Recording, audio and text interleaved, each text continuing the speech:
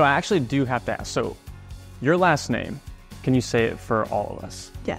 Uithoven. Uithoven. The U is silent. Really? Yeah. What nationality is that? Dutch. Dutch. Where do you get the Dutch from, mom or dad? Dad. Okay. That is so cool. Uithoven.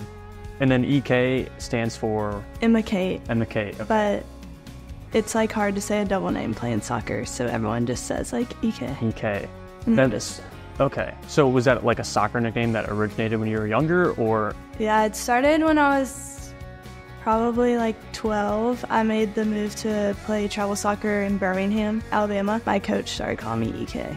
any state school within Mississippi wasn't an option, or were you like, I got to get out of here, I want to go west?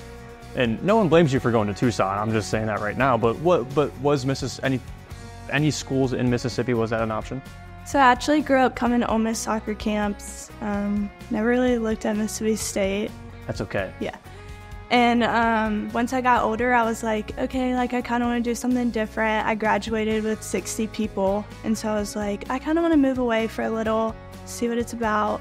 So I did that. Like my parents were able to come visit me and they did a really good job at it. But it's just like kind of sad whenever you come off the field and like your friends are hugging their parents and you're like FaceTiming your parents. You're like, hey, we won.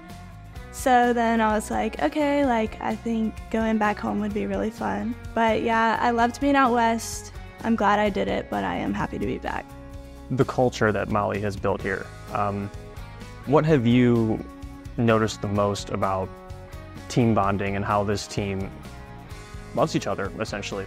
Yeah, so whenever I went on my visit, Molly was very big about even including like my parents and things, which I thought was like really important. Like she uh, told us about how she wants to develop us outside of just soccer players. So we do a lot of like personal development to prepare us for like our lives outside of soccer, which I really like that because I feel a lot more prepared to go into the real world. She makes all of us individually feel seen in like different ways and she remembers like the small details about us. Let's get into you loving being outdoors a little more. We, we were talking a little bit, which I think is so fun, so cool, so fun. The bonding thing you do with your dad.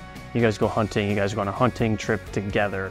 Um, why is that special to you? Growing up, we had a farm in Macon, Mississippi, and my dad actually built our cabin like from the ground up by himself. So we would go there every weekend, like during hunting season, and that was like a way to make him happy.